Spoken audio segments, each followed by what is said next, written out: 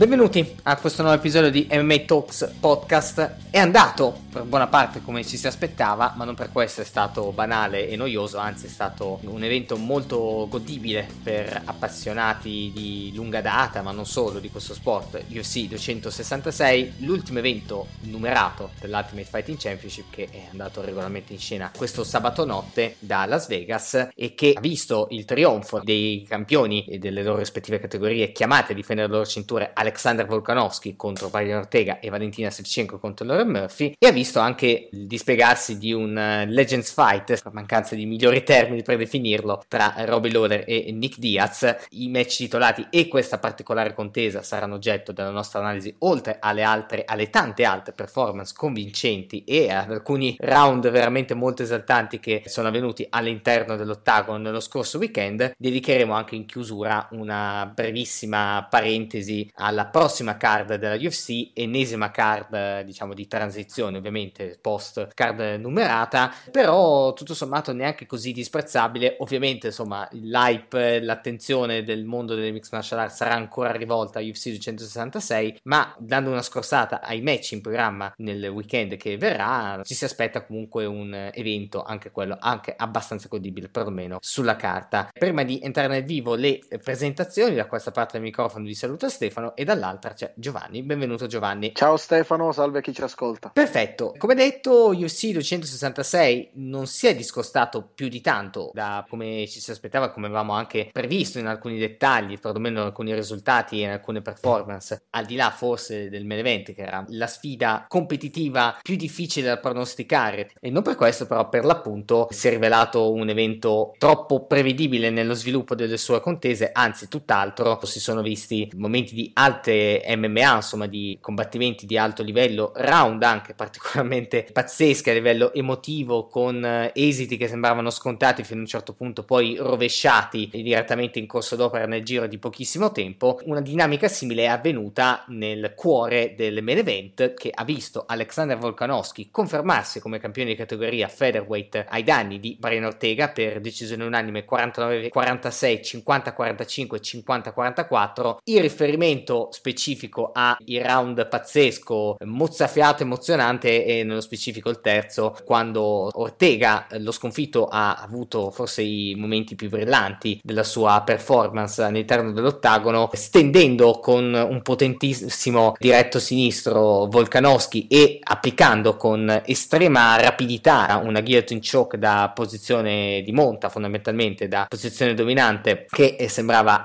molto difficile da scampare, invece Volkanovski Volkanovski con eh, sicuramente grandissima eh, determinazione ma soprattutto grandi abilità difensive e una forza fisica che lo ha contraddistinto in questa fase ma non solo anche in altre fasi eh, del combattimento e dello specifico di questo incontro. È riuscito a uscirne. È uscito anche da un successivo tentativo di arm triangle sempre da parte di Ortega inframmezzato da pesante sessione di grande pound da posizione dominante appunto da parte dello stesso Volkanovski anche sottoposto alla minaccia dell'arm triangle eh, Volkanovski si è ripetuto sui medesimi standard da campione, e quale appunto si è confermato essere, eh, uscendo anche lì in maniera ancora esaltante da, da, quella presa di sottomissione e andando veramente molto molto vicino alla conclusione anticipata dell'incontro già appunto in quel terzo round. Nel complesso di questa contesa Volkanovski diciamo ha convinto, mi auguro almeno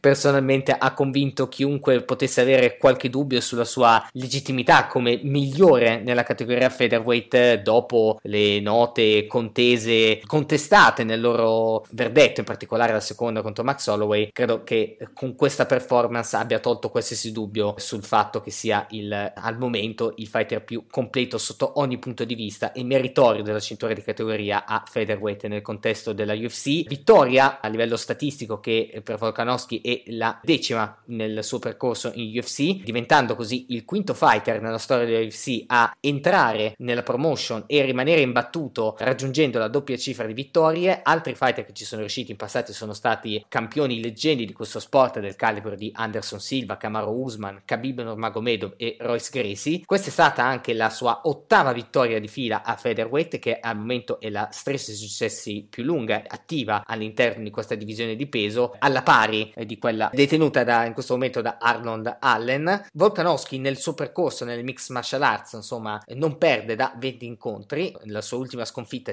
risale addirittura al maggio del 2013 e appunto questa striscia di successi di 20 vittorie rappresenta quella più lunga attualmente ancora attiva, diciamo, non ancora macchiata da sconfitte all'interno del roster della Ultimate Fighting Championship. Insomma, vittoria storica sotto diversi punti di vista, abbiamo elencato, appena elencato il record, vittoria storica anche per quello che ha dimostrato effettivamente Volkanovski, sia inizialmente, ma poi anche nel resto dell'incontro, anche quando l'azione si è fatta più attiva, ma soprattutto nel primo round si è potuta ammirare la grandissima abilità nel footwork proattivo, ecco, più che propriamente difensivo, cioè di un fighter che sa ben utilizzare il movimento in and out, utilizzando in particolare il calf kick, sia per, diciamo, stabilire comunque un modicum di attività all'interno dell'incontro in fase iniziale in cui non si va, diciamo, spediti o perlomeno non va lo stesso Volkanovski non è abituato ad andare spedito, sempre lasciando veramente pochi eh, punti di riferimento, comunque poca possibilità da parte del, del suo diretto avversario, nello specifico Ortega, di andare direttamente in segno in counter. Volkanovski è stato veramente molto bravo a farsi vedere, attirare l'attenzione, l'iniziativa, diciamo triggerare per così dire, per utilizzare un termine all'inglese, la, una reazione da parte di Ortega, farlo andare a vuoto con un movimento all'indietro e comunque portare sempre a segno o un calf kick e poi successivamente lavorare invece molto più regolarmente e stabilmente con eh, i propri pugni al volto, in particolare insomma jab sinistro e regolarmente è andato in porto sul volto del suo diretto avversario Ortega, Ortega che comunque da parte sua risultando nel complesso dell'incontro probabilmente insomma, sempre un po' un passo indietro eh, da un punto di vista di scelte offensive, da un punto di vista anche atletico e fisico, il che comunque va anche merito di Volkanovski che sì, eh, abbiamo detto in particolare su Twitch, fighter magari non altissimo ma strutturalmente ben messo, ecco, muscolarmente ben ridefinito per così dire e con un utilizzo funzionale della propria forza, eh, come esemplificato in particolare dal modo in cui è uscito con le due prese di sottomissione nel terzo round, però insomma Ortega eh, bene o male è riuscito in alcune fasi a mettere a frutto sua, il suo allungo, comunque le sue maggiori dimensioni fisiche in termini di eh, capacità di colpire con eh, pugni da lunga distanza, in particolare insomma il destro in variazione anche di guardia e quel sinistro in particolare quello che è stato che ha portato quel clamoroso knockdown del terzo round, però nel complesso annullato, vistosi annullare due serie tentativi di sottomissione del terzo round. Bravo anche da parte sua, altro aspetto positivo della performance di Ortega è stata forse la sua abilità nel trovare gli atterramenti, i cambi di livello, però per il resto, in particolare nelle, nelle fasi in piedi, dove insomma bene o male ci si aspettava che si potesse sviluppare il grosso, dove ci si potesse giocare, diciamo, all'esito di questo incontro, Ortega è sempre sembrato un po' un passo indietro, comunque virtualmente alla mercé, non in una modalità simile a quella di Stevchenko e Murphy, di cui parleremo dopo, però insomma è sempre sembrato un po' un passo indietro in generale rispetto a Volkanovski che ha sempre dettato i ritmi, ha sempre dettato la gestione degli spazi e ovviamente è andato a segno con eh, grande quantità di colpi significativi, è stato sicuramente il segno di una performance assolutamente completa e eccezionale. Giovanni, tu ne hai avuto modo di analizzarla nel, nel dettaglio in un pezzo per l'ultimo uomo. Ti chiedo quali sono stati in particolare gli aspetti che ti hanno impressionato di più e dove poni questa performance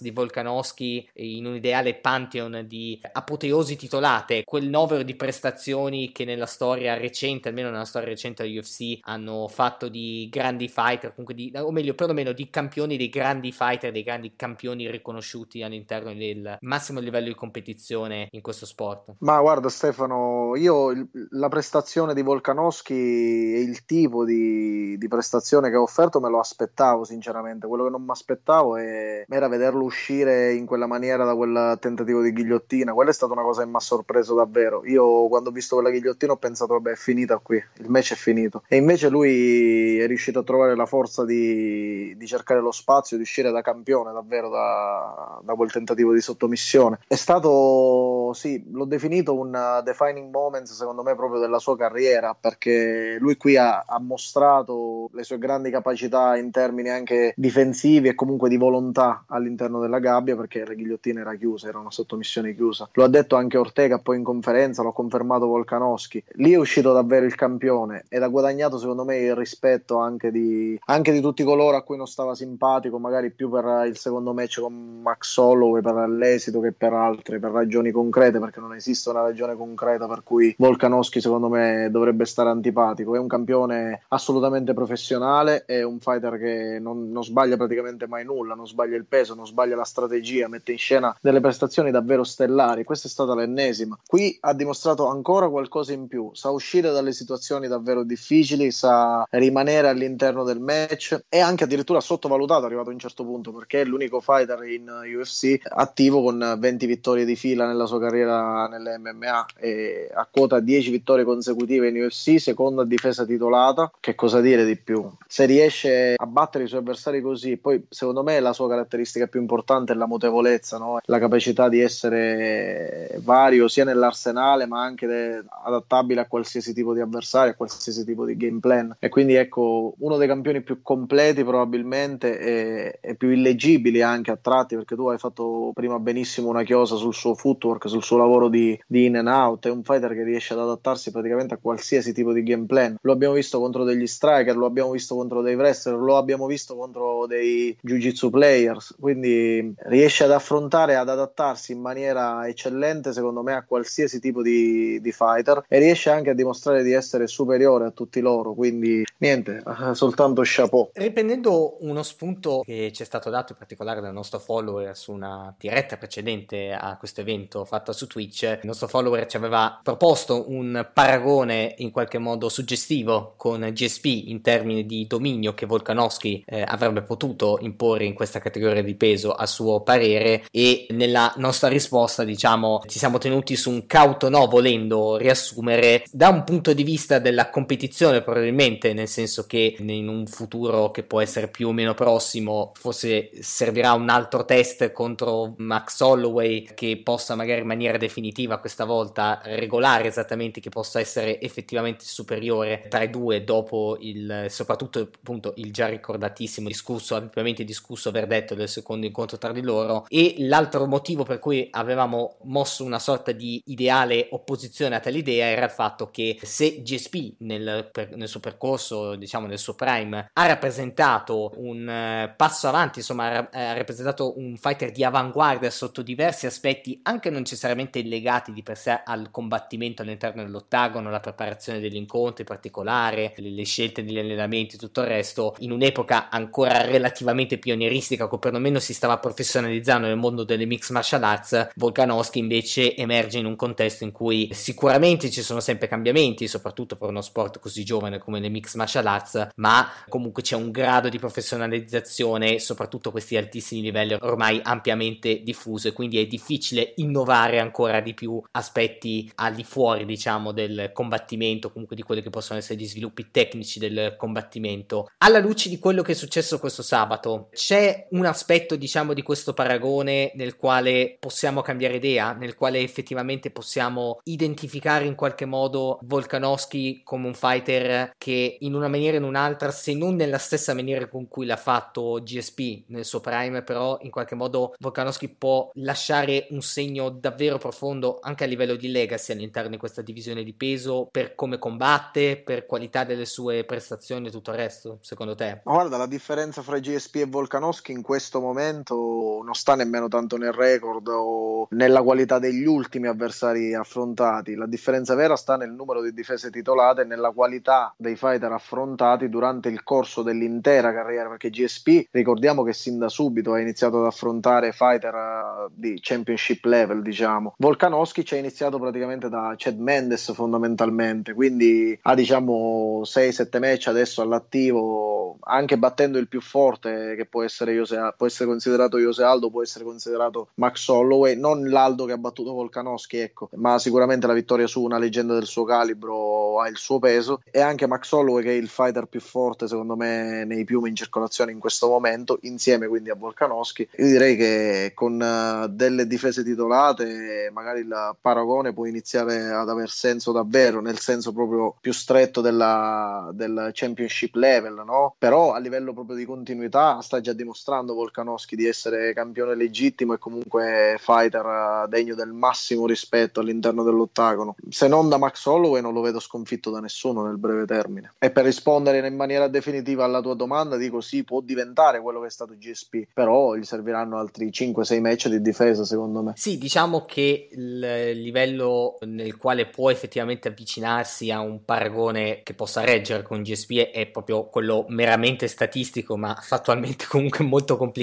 delle vittorie e delle difese titolate in proprio favore, anche perché propriamente da un punto di vista tecnico, diciamo, Volkanovski, soprattutto per quanto riguarda le fasi di striking in piedi, rappresenta sicuramente uno dei migliori interpreti, ma di una corrente comunque già esistente o comunque interpretata anche da altri fighter e direi forse innovata maggiormente da quello che è il suo principale ideale eh, grande rivale di questa sua generazione che è Max Holloway. Per certi aspetti Max Holloway ha dimostrato di essere forse pochino più pionieristico in questa, in questa fase delle mixed martial arts molto striking heavy, se mi passate il termine. Volkanovski è sicuramente un altro interprete eccellente sotto diversi punti di vista, anche per caratteristiche fisiche diverse, insomma anche preparazione e background diverso, però è, è tra virgolette solo un interprete insomma di questa corrente, non è esattamente un innovatore e quindi probabilmente anche per questo aspetto un'altra sfida che magari non ci può stare nell'immediato a livello di matchmaking, però in un futuro può effettivamente aiutarci anche sotto questo aspetto a definire quale possa essere effettivamente il featherweight di riferimento in eh, questa parentesi di tempo che eh, insomma nel mix martial arts ormai sempre molto più competitive e sempre molto più difficile anche avere regni lunghissimi di, della durata di tanti incontri di tanti anni eh, volendo nel prossimo nel giro di forse 3-5 anni probabilmente Volkanovski e Holloway se, se, continueranno ancora a questi livelli saranno i due fighter eh, che segneranno un po' quest'epoca in questa categoria di peso. Non so come, come la vedi tu. Esattamente come te non vedo, non vedo nessun altro al loro livello cioè vedo loro due nello scalino più alto della, della piramide in questo momento e poi uno scalino sotto Brian Ortega e sotto tutti gli altri. Sì sì sì assolutamente. Comunque Ortega per il suo per quanto possibile insomma si è reso abbastanza onore però oggettivamente è, è apparsa insomma i famosi livelli di questo gioco no? per, citando Daniel Cormier parafrasando Daniel Cormier insomma si sono, si sono rivisti anche in questa contesa eh, che ha espresso perlomeno da parte di Volkanovski alcuni dei più alti livelli di espressione tecnica di anche utilizzo dei propri talenti fisici che si possono vedere nel mix martial arts al giorno d'oggi considerazioni simili diciamo però con un dislivello livello di competizione tra campio- il, camp- il, campionesso in carica in questo caso e lo sfidante si sono visti anche nel Common Event a Women's Flyweight per la difesa del titolo Women's Flyweight UFC tra la campionessa in carica ancora nuovamente in carica eh, Valentina Sevchenko e Lauren Murphy. Sevchenko vittoriosa per TKO dopo 4 minuti esatti nel quarto round. Sesta vittoria consecutiva sesta difesa titolata consecutiva da parte appunto della fighter kirghisa peruviana che appunto con sei, con sei difese titolate consecutive è la, attualmente la campionessa attualmente in carica con maggior numero di difese all'attivo. Anche qui Giovanni eh, si, si, è, rivi- si è, visto in parte, diciamo in pratica quello che sulla, sulla carta prevedevamo un po' tutti, insomma, di una, di una Lauren Murphy che o probabilmente trovava il cosiddetto colpo della domenica, insomma, se riusciva a trovare l'episodio o approfittare di un episodio eh, fuori dal previsto che potesse invertire l'esito apparentemente scontato della contesa, altrimenti, insomma, si sarebbe assistito all'ennesimo Sevchenko show, eh, uno show fatto veramente completo e irripetibile eh, a questi livelli, perlomeno a livello di competizione di mix martial arts femminili per prontezza atletica, gestione anche qui degli spazi eccezionale, scelte offensive variabili, varietà proprio del proprio background, del proprio arsenale offensivo con uh, insomma nella, nelle fasi in piedi, ma anche prontezza nel cambio di livello, giusto anche per dare questo dato, Sevchenko ha completato almeno un takedown in 12 delle sue 13 apparizioni all'interno dell'UFC, quindi questo è, è ampiamente indicativo di quanto sia brava anche nei cambi di livello e brava anche ovviamente a stabilizzare regolarmente la posizione contro qualsiasi fighter e anche con Murphy è stato così a terra in maniera attiva cercando quando è possibile insomma quando per certi aspetti se la sente diciamo un una finalizzazione eh, direttamente a terra, però per il resto Giovanni è veramente cosa negativa per un podcast, però si rimane veramente senza parole a commentare comunque quanto da un lato sia veramente molto molto brava, quanto sia dominante Sevchenko, praticamente qualsiasi categoria femminile nella quale si trova a combattere, perché stiamo parlando di flyweight, ma anche in altre categorie di peso, insomma, ha dimostrato di essere ampiamente competitiva, troppo competitiva per le sue dirette avversarie, dall'altro però si vede anche quanto, diciamo, tanti meriti ci sono di Sevchenko, tanti però ci sono anche i limiti, in questo caso di Lauren Murphy, ma di tante altre fighter di queste categorie di peso che in questa fase di sviluppo dello sport a questo punto non sono ancora in grado di offrire un livello di competizione adeguato per la stessa Sevchenko o comunque anche l'altra convitata di pietra in questo tipo di discorsi Amanda Nunes. Sono ancora troppo a un livello superiore e UFC 266 l'ha confermato. Beh se Volkanovski e Holloway sono uno scalino sopra rispetto agli avversari della divisione dei pesi piuma Shevchenko è due scalini rispetto alla seconda nei pesi mosca. È una fighter eh, troppo superiore rispetto alle sue avversarie. Non c'è nessuno in questo momento davvero che possa tenere le testa in questa divisione. È l'unico match effettivamente che ha senso è quello della trilogia secondo me contro Amanda Nunes perché non c'è nessuno non c'è assolutamente nessun avversario che può tenere testa in questo momento a, alla Shevchenko lei ha ragione quando dice che le sue avversarie in effetti non arrivano già rotte già spezzate no? contro di lei lo diventano praticamente dopo non appena subiscono i primi colpi quindi io ne sono assolutamente convinto che, che sia una cosa vera però arrivato a questo punto secondo me Shevchenko comincia anche a, a far paura.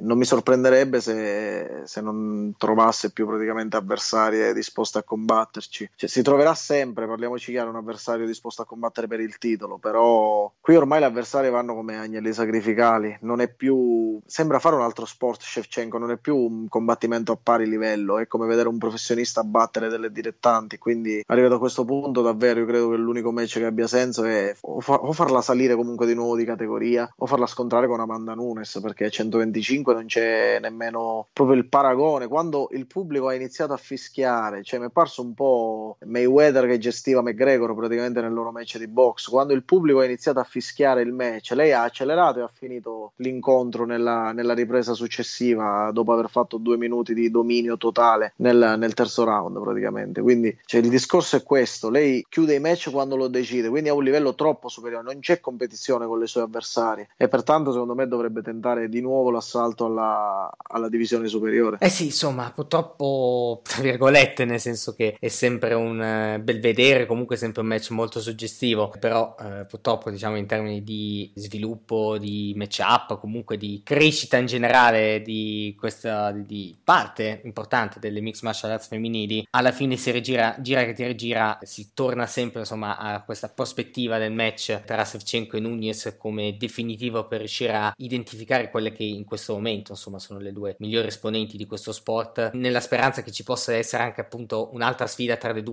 che ci possa togliere dubbi nella pratica. Si può forse anche dire forse alla luce della maggiore attività in termini recenti perlomeno di Sevchenko che per certi aspetti parlando comunque di due fighter assolutamente fortissime e letali intoccabili sotto diversi punti di vista per certi aspetti forse Sevchenko sta mostrando una maggiore completezza una maggiore capacità di controllo magari rispetto a una Manna Nunez che non mi fa intendere non è che non abbia mai dominato anzi ha dominato e ha concluso diverse contese in maniera anche forse più spaventosa diciamo forse più una finisher per certi aspetti rispetto a Valentina Sevchenko dall'altro invece Sevchenko pare essere una fighter che demolisce le avversarie in maniera assolutamente più metodica quindi mostrando paradossalmente una maggiore completezza da parte di Amanda Nunez è un, un abbaglio dovuto forse alla, insomma, al cosiddetto recency bias al fatto di aver visto appunto Sevchenko in azione questo sabato, averla vista forse un pochino più attiva in tempi recenti e mi sto dimenticando colpevolmente dei meriti di altri meriti di Amanda Nunez oppure è un'impressione che hai anche tu? Sono assolutamente d'accordo Ste. Sì sì sono assolutamente d'accordo con quello che hai detto la Shevchenko è assolutamente più metodica anche secondo me ha uno stile ben definito che va bene per eh, superare praticamente qualsiasi avversaria perché se ci fai caso fondamentalmente Shevchenko ha quella base di Muay Thai molto pericolosa contro la quale nessuna fighter è riuscita a trovare risposte se non appunto Amanda Nunes e poi quando va comunque in takedown riesce a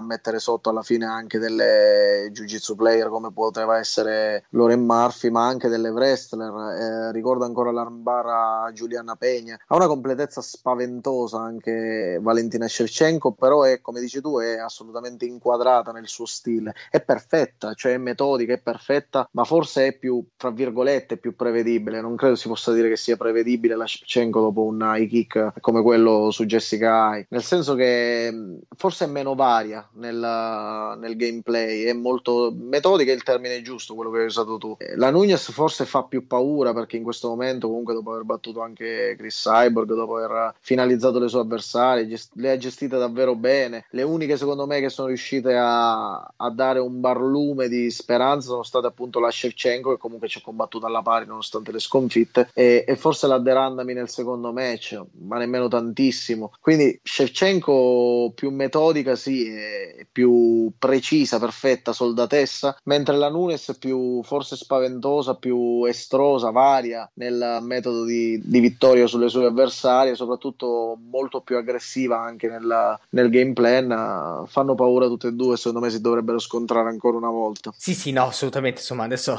non vorrei che passasse il messaggio che possa insomma, mettere di fronte, dire esattamente che una sia migliore dell'altra, ecco, in termini. No, no, io sono d'accordo con te, ti dico, ste, sono proprio a un livello molto simile. La, la Nunes ha vinto perché comunque la prima volta ha vinto forse in maniera un po' più convincente, la seconda un po' hanno la storia di Volkanovski e Holloway, no? loro due. Poi Shevchenko ha, ha avuto la fortuna che UFC ha, ha aperto la categoria 125 che per lei è perfetta praticamente nessuno lì può nemmeno pensare di competere con lei. Sì, sì, sì, poi anche eh, comunque c'è anche un, come dire, una caratteristica anche di differenza fisica. Per esempio, insomma, questa sfida proponeva comunque una Shevchenko in teoria fisicamente a livello di mere misure fisiche inferiore, perlomeno per alcuni parametri, a Laura Murphy, che comunque è una fighter che per flyweight è insomma ben dimensionata, per così dire, insomma, per non essere troppo rispettosi verso una signora, comunque strutturalmente, fisicamente, muscolarmente ovviamente ben dimensionata, e Shevchenko però, insomma, l'ha trattata per certi aspetti, soprattutto nelle fasi di cambio di livello,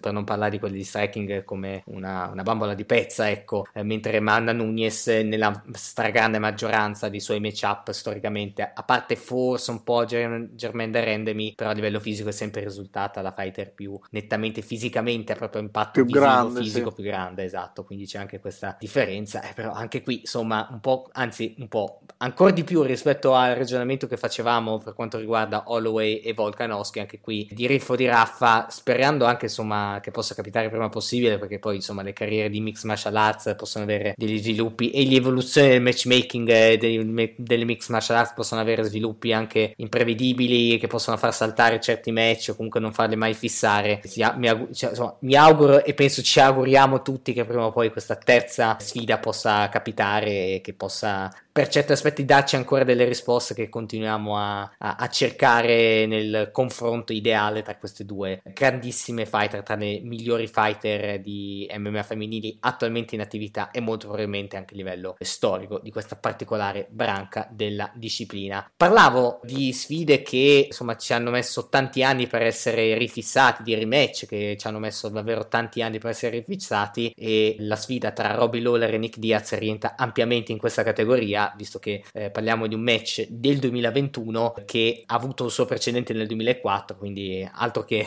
altro che altre ere, parliamo proprio di un'altra dimensione temporale rispetto a, al match, insomma, al, al, primo incontro tra questi due fighter, ovviamente fighter che si presentano in traiettorie di carriera completamente diverse, insomma, dal 2004 al 2021, diciamo che quella particolare di Nick Diaz già appariva in avvicinamento a questo incontro, insomma, fondamentalmente chiusa con questa questa piccola occasione, insomma, questa particolare occasione per vedere se c'era ancora del fuoco dentro il fighter di Stockton. E al netto del dibattito che si è creato, insomma, nei, nei vari canali di commento degli appassionati di mixed martial arts, detti lavori, anche nel, nel nostro piccolo, diciamo, nel nostro gruppo Telegram, sulla qualità o meno della performance di Nick Diaz, molti sono espressi in maniera negativa, sottolineando gli indubbi difetti o comunque aspetti negativi di quanto proposto dal fighter di Stockton all'interno dell'ottagono, però devo dire onestamente, qui più che di impressioni non possiamo parlare in questo match che a livello di competitività attuale nel contesto delle mixed martial arts ha veramente poco poco da dire, sia per lo sconfitto che per il vincitore, però In particolare per Diaz, devo essere sincero, come impressione rispetto a quelle che potevano essere le aspettative realistiche che si potevano maturare nei confronti di questo matchup, tutto sommato non si è comportato così male nei primi due round. Diciamo, nel primo ha avuto inizialmente maggiore accortezza difensiva, facendo, se mi passi l'espressione, sfogare l'iniziale rush offensivo, blitz offensivo di Lawler, classico blitz, insomma, eh, frontale per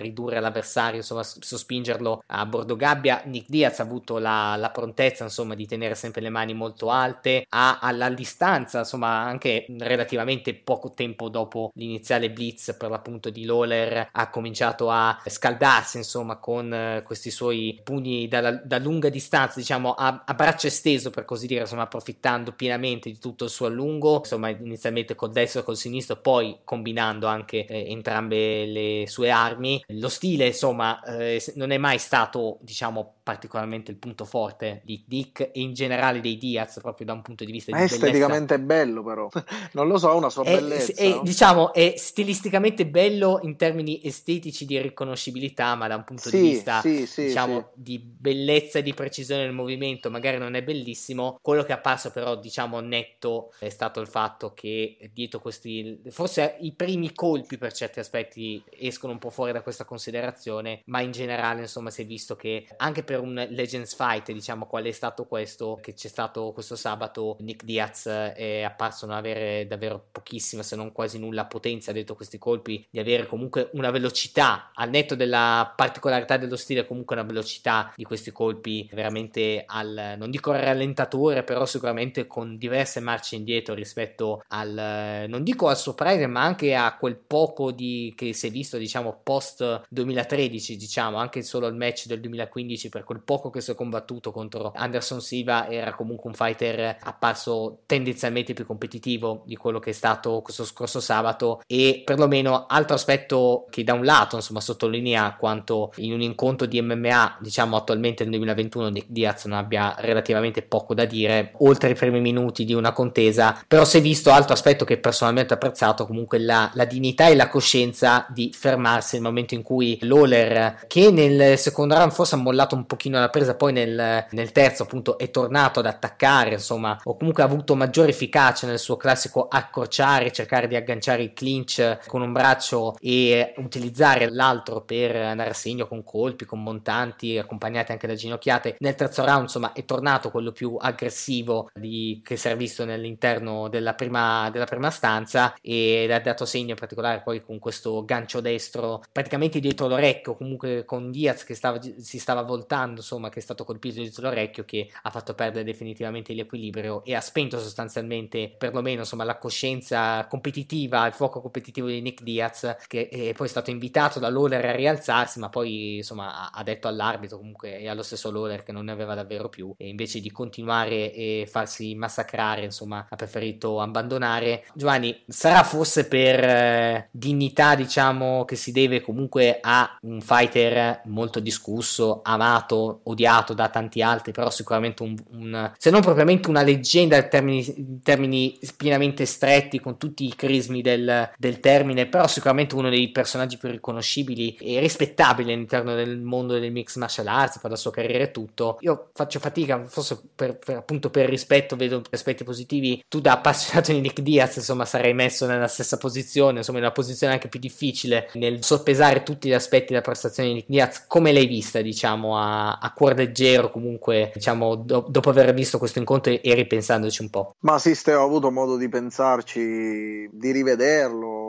a me non è piaciuta tanto questa prestazione sinceramente. Non, non sono contento della prestazione che ha fatto Nick. Era partito piuttosto bene però mh, ha perso subito atletismo ha perso subito esplosività. Non, non lo vedevo. Gli era, rimasto solo, uh, gli era rimasta solo la dote da incassatore solo che mh, è arrivato troppo presto a subire praticamente il, il forcing di Lawler. Si è messo troppo presto spalle alla gabbia ha assorbito un sacco di colpi e non è riuscito a rispondere nella maniera migliore migliore. Poi sono rimasto sorpreso dal fatto che fino a una settimana e mezza fa, due settimane fa, metteva delle foto in cui era fisicamente in uh, stato veramente eccezionale. Poi invece la notizia del cambio di categoria, questo calo un attimo mentale probabilmente, non, non ho ben capito. Comunque sarà successo sicuramente qualcosa perché per cambiare divisione di peso nell'ultima settimana non so se ha sbagliato i tempi, non so se non se l'è sentita di rientrare al 170, non ne ho idea di cosa sia successo, però qualcosa è sicuramente successo. Non sono contentissimo della sua prestazione, mi piacerebbe, mi piacerebbe rivederlo, sicuramente sì, ma mi piacerebbe rivederlo in una condizione migliore di questa, perché se non riesce a tenere testa all'ultimo Lawler, non so quale sia la sua, la sua intenzione. Ecco. ecco, io per assurdo, diciamo, pur valutando forse in maniera, valutando maggiormente gli aspetti positivi della performance, onestamente però non, non vorrei poi rivederlo, diciamo, onestamente, diciamo, più che altro perché temo che ci possa essere, eh, come in, termini, in tempi recenti, con diversi fighter che hanno dimostrato in qualche modo di avere ancora qualcosina in termini appunto di competitività all'interno di, un, di uno sport di combattimento, non vorrei che entrasse un po' nel loop di un, insomma, se non di un altro match in UFC o addirittura di un passaggio magari in un'altra promotion o il passaggio alla Bernacle Boxing o addirittura farsi coinvolgere dal mondo dei, dei freak show, se vogliamo definire di così, dei fratelli Paul. Insomma, onestamente, se doveva trattarsi di una, diciamo, togliersi il dubbio, ecco, per così dire, se poteva ancora fare, insomma, poteva ancora combattere di MMA, questo match, diciamo, ha offerto tutte le risposte e tutto sommato anche in una maniera forse meno cruenta di quello che poteva capitare, perché poteva esserci, insomma, un KO molto più netto, poteva esserci un infortunio anche grave, insomma, perché cose comunque scenari un pochino più drammatici da non escludere quando ci sono fighter comunque così consumati, così lontano da questo sport, per così tanto tempo lontano da questo sport e anche di una certa età, perché comunque Nick Diaz non è poi neanche così questo giovincello, diciamo, la, la scampata, diciamo, tutto sommato questa volta ha fatto anche per certi aspetti una discreta figura nei limiti del possibile e di tutti i limiti che hai prontamente e giustamente sottolineato. Se ne può fare a meno, però, diciamo, in generale, insomma, più avanti nel tempo, insomma, grazie per l'impegno, però, per, la, per averci provato, però non, non vedo, sì, forse magari ancora un match così, però onestamente anche quale avversario gli proporresti, diciamo, Lawler per certi aspetti, sì, forse magari un Matt Brown, però siamo sempre lì, insomma, semplicemente comunque la prospettiva di, di avversario che può affrontare realisticamente un, un Nick Diaz, insomma, erratico e con tutti i problemi che può avere, però onestamente non ce ne sono tantissimi. Eh, fondamentalmente quando ti hanno dato Lawler hai perso per TKO al terzo round e, e mostri quei limiti, poi secondo me quei limiti che ha sempre mostrato, il footwork che invece in questa occasione poteva essergli veramente caro, ci sono da rivalutare davvero tante cose, cioè qual è l'intenzione di Nick Diaz? È quella di continuare a combattere? Sì, eh, la condizione non può essere sicuramente questa. Guarda, io ti ripeto, a me non dispiacerebbe rivederlo, però a patto che sia in una condizione presentabile, altrimenti va bene anche così, dico, eh, magari preferiamo saperlo integro piuttosto che in queste condizioni qui. Eh sì, insomma, la speranza è che insomma, se, se deve essere presa una decisione, visto che insomma non possiamo prendere sicuramente noi per lui, possa essere presa diciamo con il massimo della lucidità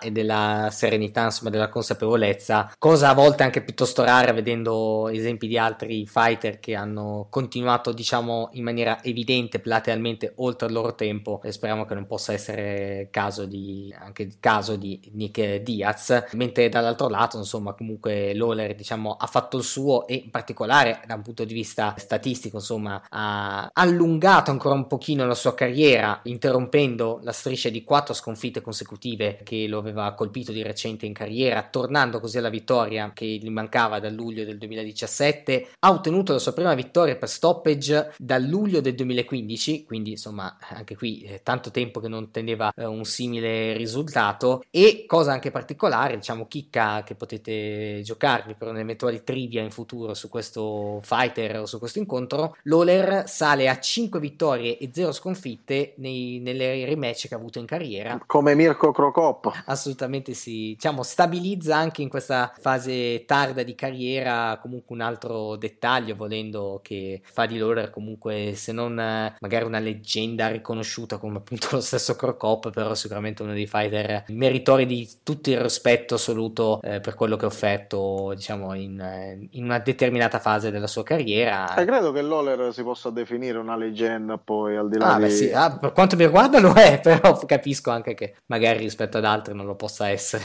diciamo. Ci sta, ci sta. Passando invece alle contese non sulle 5 riprese di questa card tra main card e preliminary, performance scolastica nell'accezione direi negativa del termine per certi aspetti per Curtis Blades che aveva effettivamente bisogno di una vittoria e che l'ha ottenuta, diciamo utilizzando il playbook più semplice, comunque più sicuro, eh, quello dei cambi di livello, comunque della capacità di atterrare suo diretto avversario nel match appunto eh, heavyweight contro Giorgino Rosenstruck, vittoria per Blades per decisione unanime con i cartellini di 30-27, 30-27, 30-27, il Blades più convincente, più apprezzabile all'interno di questo match per non dargli insomma direttamente conto come magari hanno fatto tanti altri commentatori insomma hanno parlato di un match tendenzialmente noioso. Il meglio del suo match lo si è visto probabilmente nel primo round dove si è visto un fighter molto abile a colpire con eh, il jab a-, a volte anche raddoppiato cambio, dopo il cambio di guardia con naturalezza e comunque anche un discreto grado di potenza comunque di, di forza dietro ogni colpo portato a segno nel primo round in apertura di incontro capacità insomma di tenere sempre un po' in sospeso Ronson Strick che da parte sua ha ribadito ulteriormente i suoi enormi limiti nel impostare un qualsiasi game plan affidabile o comunque produttivo che non sia la ricerca del momento per andare a segno con tutta la sua potenza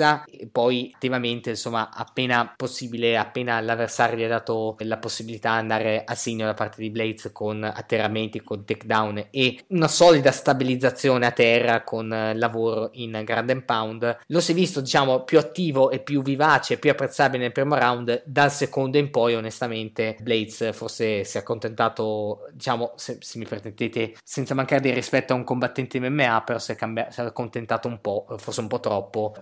ottenendosi stabilmente takedown e non correndo grandissimi rischi a parte forse qualche colpo singolo da parte di Rosenstruck però onestamente diciamo non dando mai l'impressione di poter di cercare attivamente dopo i primi 5 minuti dopo i primi 5 minuti cercare attivamente una conclusione anticipata dell'incontro. Diciamo prendersi qualche rischio ecco. Blaze forse è stato fin troppo prudente contro un, un avversario stilisticamente incapace comunque di essere alla sua altezza sotto diversi aspetti del combattimento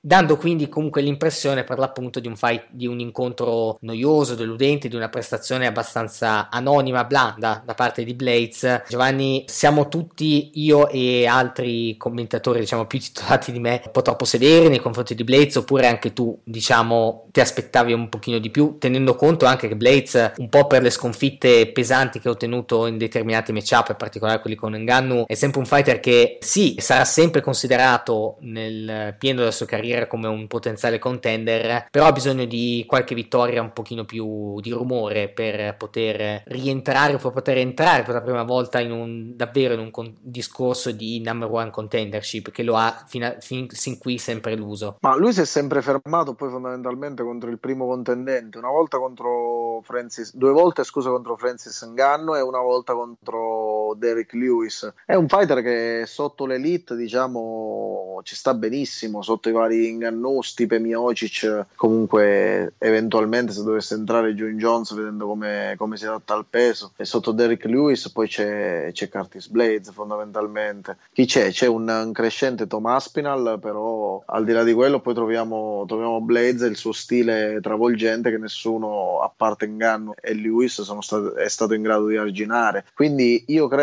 che no, la tua critica invece è corretta perché da uno come Blades ci si aspetta comunque un modo di essere dominanti diverso rispetto a quello che ha, che ha mostrato. Ci si aspetta il fighter che ha affrontato Verim per intenderci. Quindi sono assolutamente d'accordo con te. Credo che anche lui sia mezzo scalino più in basso dell'elite sebbene siano pesi massimi e credo anche che debba migliorare e debba andare a ricercare appunto la, la chance titolata. Per, per, arrivare alla chance titolata deve passare ad esempio per dirne uno da Stipe Miocic in questo momento ammesso non concesso che il suo match contro John Jones si faccia. Sì eh, diciamo poi date anche le notizie recenti l'elemento John Jones rimane ampiamente in sospeso vista anche l'ultima vicenda di cronaca che lo ha visto protagonista e per quanto riguarda Blades l'arresto l'ennesimo. Eh sì sì sì. Per quanto riguarda Blades eh, invece appunto manca sempre ancora insomma probabilmente insomma la, la, l'ansia di tornare alla winning column per così dire insomma lo ha portato ad essere particolarmente prudente, però potevano essere margini, potevano esserci margini onestamente per una vittoria prima del tempo un pochino più convincente questi margini diciamo eh, Blades non li ha colmati e quindi il suo futuro in prospettiva alta diciamo della categoria heavyweight rimane sempre ancora un po' in sospeso in balia insomma di quelli che possono magari essere altri risultati tra altri fighter di categoria. Tra l'altro si vedrà appunto eh, in particolare insomma come si evolverà la situazione in particolare a livello proprio di titolo vero e proprio eh, o presunto tale tra Cyril Gunn e eh, Francis Gunn in futuro. E da lì magari potranno uscire fuori eventuali futuri, futuri matchup per, per lo stesso Blaze e per altri protagonisti della categoria di peso a questi livelli. Ottima prestazione senza con dubbio si può definire così quella in apertura di Mencada tra Jessica Andrade e Cinta Calvillo anche relativamente poco da dire nel senso che Andrade anche lei insomma per certi aspetti con eh, elementi in comune anche allo stesso Volkanovski in particolare proprio in apertura di incontro per l'abilità di utilizzare il calf kick inizialmente per stabilire un determinato range di attacco impedire in particolare all'avversario di improntare magari una certa strategia o comunque poter prendere ritmo col proprio striking e tagliare gli spazi. Insomma anche lei insomma si è distinta ottimamente in particolare in apertura di incontro. Ha mostrato anche in questo suo utilizzo dei, dei calci in apertura anche un discreto senso della lateralità che spesso non, eh, non, le è stato attribuito insomma e che di fatto anche nel corso dell'incontro per altri aspetti non si è visto nel senso che le, comunque i suoi blitz offensivi principalmente si sono sempre sviluppati come solito in, per linea centrale appunto con eh, ricerca eh, rapida delle combinazioni cosa appunto che si è verificata anche all'interno di questo incontro e che nel giro di pochissimo tempo insomma praticamente il tempo di un round 4 minuti e 54 secondi ha portato a una conclusione anticipata dell'incontro Giovanni una delle migliori Andrade insomma che si sono viste in eh, carriera. Qualche passo in avanti però diciamo purtroppo torniamo un po' al discorso di Sevchenko delle rivali. Può magari con questa vittoria e magari con un altro risultato inteso Andrade può magari tornare a essere un number contender ma onestamente da questo match non, non è apparsa comunque un'avversaria necessariamente troppo competitiva e troppo pericolosa per le prospettive di Valentina Sevchenko può diventare diciamo la campionessa delle normali ecco Jessica Andrade Andrade a flyweight. Sì, sì, esatto, può diventare assolutamente... Secondo me può anche puntare ormai a un tentativo titolato, ecco, anche perché voglio dire nella divisione inferiore ha detto di voler scendere di nuovo di divisione e quindi questa è una notizia già di per sé perché è già stata campionessa nella divisione sotto, è altamente competitiva, a parte il match contro la Zang non, non l'ho mai vista eccessivamente in difficoltà, quindi secondo me potrebbe anche tentare effettivamente la discesa di categoria. Però ormai che si trova qui non saprei. Tu come la vedi a, a 125? A me sembra altamente pericolosa. No, la categoria è sicuramente una... Insomma, lo ha dimostrato al di fuori del match contro la Sevchenko, comunque ha dimostrato con eh, leggeri miglioramenti appunto anche in questo incontro e comunque altri limiti riconosciuti che probabilmente diciamo non correggerà mai. È sembrata comunque una fighter che si è adattata, che ha saputo adattare le sue caratteristiche di striker e le sue caratteristiche fisiche anche insomma una fighter torno anche sul paragone con Volkanovski. Fisicamente magari non impressionante a livello di dimensioni di altezza però di potenza fisica di utilizzo della propria potenza impressionante insomma comunque con relativamente poche pari in eh, categoria. Però avendo a che fare poi come campionessa con come principale ideale avversaria la Savchenko o dimostra diciamo di poter esporre in qualche modo difetti che in realtà poi non si sono poi così tanto visti in tempi recenti di Savchenko per improntare un serio assalto futuro al suo regno oppure diventerà sostanzialmente una sorta di Benavides ecco. Insomma il paragone volendo può essere questo insomma con Sevchenko che ricopre il ruolo di quello che, che il ruolo che aveva avuto Demetrius Johnson per ampia parte dell'esistenza della categoria flyweight maschile e Andrade può candidarsi a diventare una sorta di Benavides insomma la, la migliore fighter la, la, campionessa non incoronata la campionessa delle normali. E la prospettiva credo che sia questa diciamo realistica nel breve medio termine. Beh, non posso che essere d'accordo con te, Ste, ma infatti lei ha dichiarato di voler scendere di categoria e l'ho eh, fatto secondo me sensatamente. Esatto, l'ho fatto sensatamente. Effettivamente non c'è nessuno in questa divisione al pari della Shevchenko, quindi fa bene a, secondo me a scegliere la divisione inferiore Jessica Andrade a riprovare un assalto al titolo che ha già vestito, no? Eh sì, poi appunto anche a livello di avversari e, e anche di competizione volendo sicuramente eh, più interessante rispetto a quello che può essere flyweight, eh, anche se qualche prospetto particolare insomma da fuori, uno appunto si vedrà in azione nella prossima card UFC magari ne acceneremo anche Casey O'Neill, qualche segnale di vita anche a Women's Flyweight c'è in termini di, em- di emergere di fighter, future fighter di talento, però insomma l'abbiamo detto più volte in questa puntata e l'abbiamo detto più volte anche in passato, comunque il dislivello di talento rispetto alla campionessa è ancora abissale insomma per la stessa Andrade che comunque ha dimostrato di essere materiale da campione, da campionessa nel suo caso e per tante altre dirette avversarie nella flyweight division. Ha dato tanto spettacolo la main card, non è stata da meno anche la porzione dei prelims, eh, in particolare la porzione alta dei prelims con eh, match che avrebbero potuto stare tranquillamente in main card o che di, di questo pay per view o che avrebbero potuto essere anche dei veri e propri main event di card non numerate. Mi riferisco nello specifico ai match tra eh, De Nuker contro Nasrat Akparast, match miracolosamente rimasto a lightweight nonostante i due eh, siano arrivati in pochissimo tempo negli Stati Uniti, avevano avuto pochissimo tempo. Eh sì, veramente, eh, comunque un applauso a entrambi al netto di come hanno combattuto, anche solo per questo aspetto sono riusciti a fare il peso in pochissimo tempo, però a vincere, diciamo, fattualmente è stato solo De Nuker con i cartellini di, eh, con le, una decisione unanime, con i cartellini di 30-27, 30-27, 30-26, non ha avuto bisogno di giudici invece Merab Valishvili che ha allungato in maniera assolutamente spettacolare e a tratti incredibile la sua striscia di successi a Bantamweight, sesta vittoria di fila per la precisione, alla pari al Jermaine Sterling per maggiore, le strisce di successi attiva più lunga all'interno di questa divisione di peso, sconfiggendo Marlon Moraes per TKO dopo 4 minuti e 25 secondi nel secondo round. Tutti i complimenti che abbiamo fatto, comunque le considerazioni che abbiamo fatto in termini di spirito combattivo, diciamo di determinazione nel non mollare mai per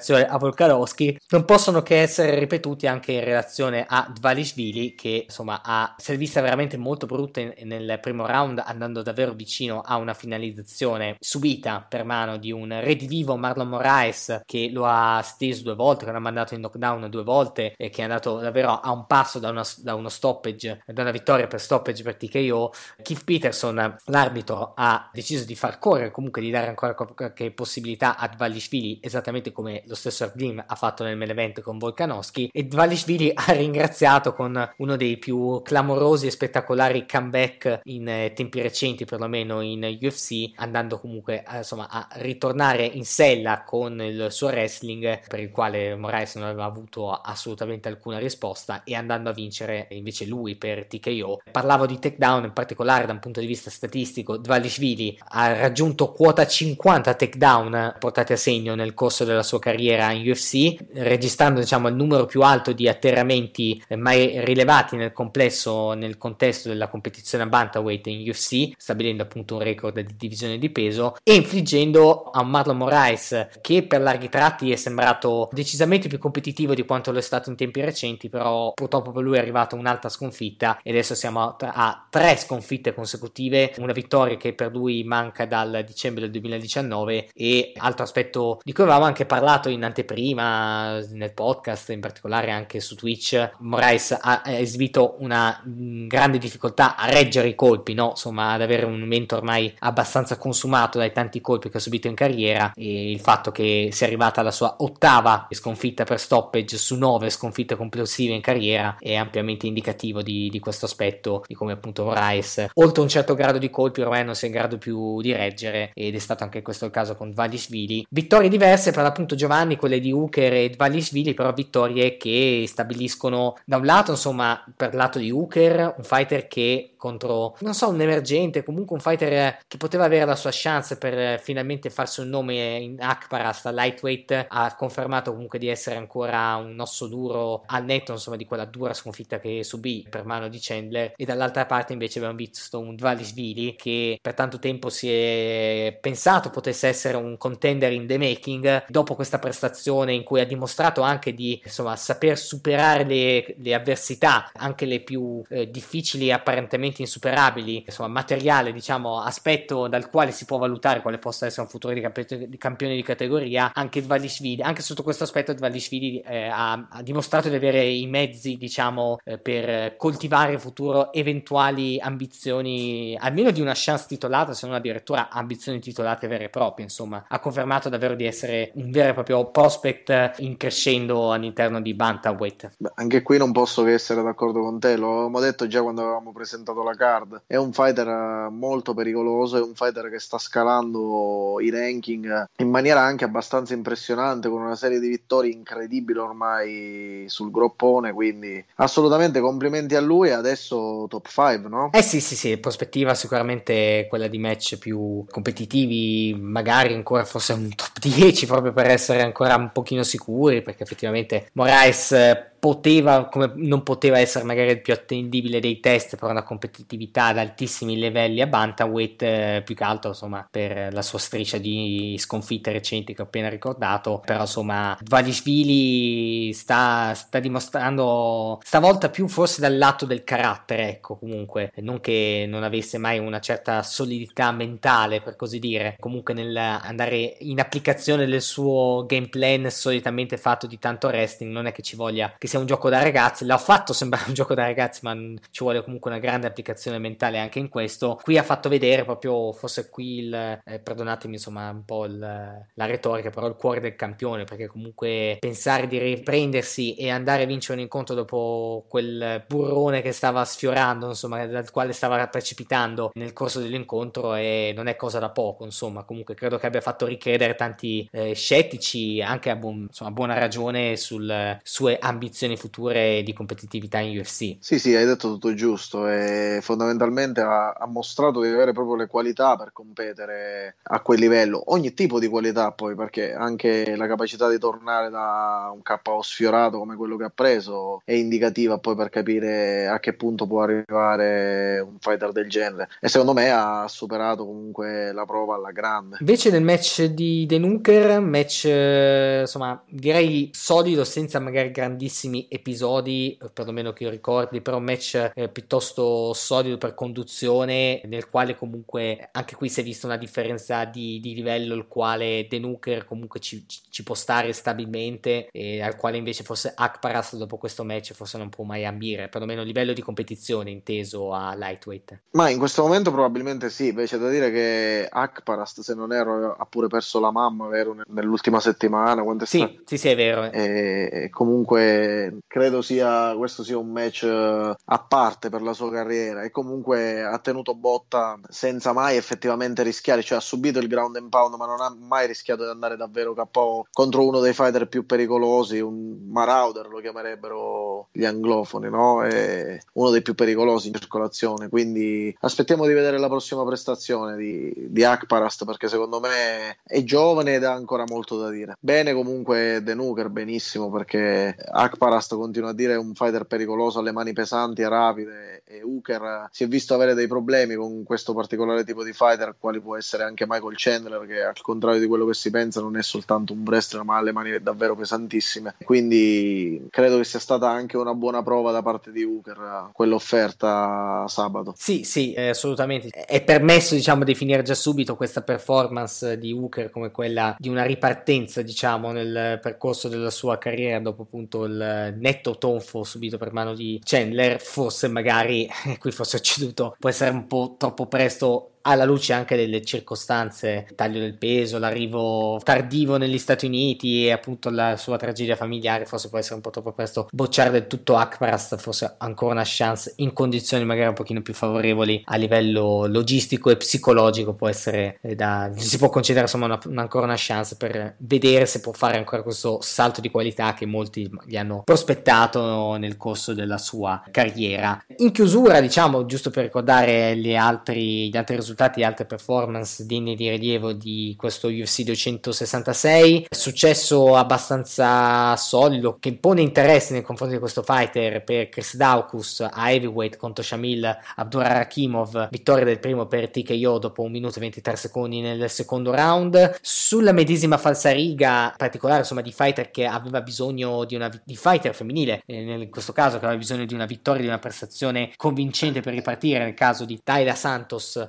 vittoriosa per decisione unanime 30-27, 30-27, 30-27 contro Roxanne Modaferri, interruzione di un hack train, quello di Uros Medic da parte di Jalin Turner in maniera anche piuttosto netta e con un risultato, insomma con una finalizzazione piuttosto netta, Rian Short dopo 4 minuti e, primo, e, un secondo nel primo round nella sfida eh, combattuto a lightweight, mentre a middleweight Nick Maximov ha difeso diciamo gli onori dei fighter legati al team Diaz, comunque legati ai, ai fratelli Diaz, vincendo contro Cody Garbrange per decisione unanime 29-28, 29-28, 29-28. Non ha fatto lo stesso invece Matthew, ehm, scusate, Martin Sano Jr. che proprio per mano di Matthew Sabelberger ha subito una sconfitta dopo appena 15 secondi per KO Jonathan Pierce in apertura d'evento a featherweight ha battuto Omar Morales per Ian Kechuk dopo 3 minuti e 31 secondi nel primo round. Bonus, giusto per ricordarli, Fight of the Night ovviamente a Volkanovski e Ortega, Performance of the Night è andata invece a Valishvili e Chris Daukus. Prima di chiudere, una brevissima visione, insomma, una brevissima scorsata ai match eh, principali della prossima card UFC. Si torna appunto allo UFC Apex per l'ennesima Fight Night nell'ambiente intimo della facility di proprietà della Ultimate Fighting Championship. Nel main event Thiago Santos e Johnny Walker si affrontano in un curioso derby carioca a light heavyweight. A middleweight Kevin Holland cerca di ripartire contro l'altro Daukaus, fratello Daukas, in questo caso Kyle, mentre a welterweight Alex Oliveira sarà protagonista di una sfida che può prospettare, diciamo, un KO clamoroso e anche abbastanza inatteso contro un fighter come molto estemporaneo da questo punto di vista, come Nico Price. Altra sfida a middleweight nella main card tra Misha Sirkunov e Christoph Jotko e in apertura di main card una sfida, diciamo, più volte rimandata e che insomma si spera possa andare in scena questo sabato tra Aspen Ladd e Messi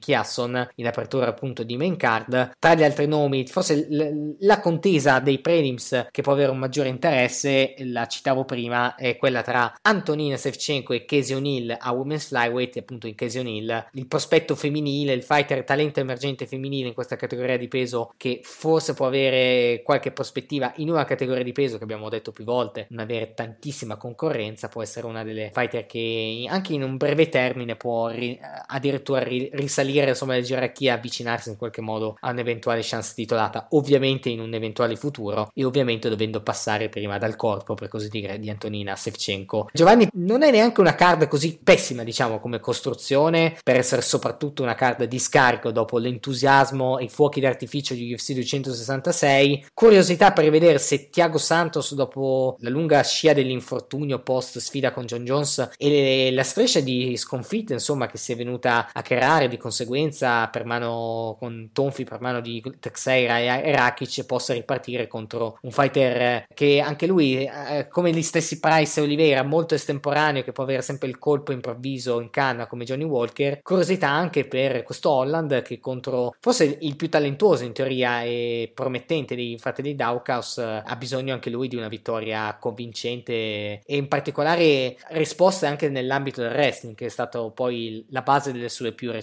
sconfitte. Sì, sicuramente Stefano e come dici tu non è una card da, da far passare inosservata perché già il derby brasiliano che fa da main event potrà ridefinire chi fra i due potrà rilanciarsi, non dico per ottenere una chance titolata, ma per andare di nuovo a, a competere nella top 5 sicuramente, chi vince torna a competere. In questo momento poi sicuramente la divisione dei massimi leggeri si sente orfana e Tiago Santos ha già battuto il campione Jan Blakovic, quindi sicuramente sente di avere una chance a quella cintura adesso. Walker ha tutto da guadagnare da questo match perché diciamo che le ultime uscite non sono state delle migliori. Mentre poi nel come in event, vabbè, fa sempre piacere, almeno stilisticamente, vedere Kevin Holland all'interno dell'ottagono. Dao Chaos è un buon fighter che nell'ultima uscita è stato sconfitto da Philos, se non erro. E poi c'è Oliveira Price, che è sicuramente il match della gente, fra virgolette, quello che riserverà probabilmente lo spettacolo in back and forth più, eh, più elettrizzante della serata. Eh sì, diciamo, questi probabilmente sono gli scenari più positivi, diciamo, più ottimistici che possono emergere da questa card, insomma, di sfide che, diciamo, se non emergerà troppo la, come dire, l'ansia di dover ottenere una vittoria anche magari sporca, non spettacolare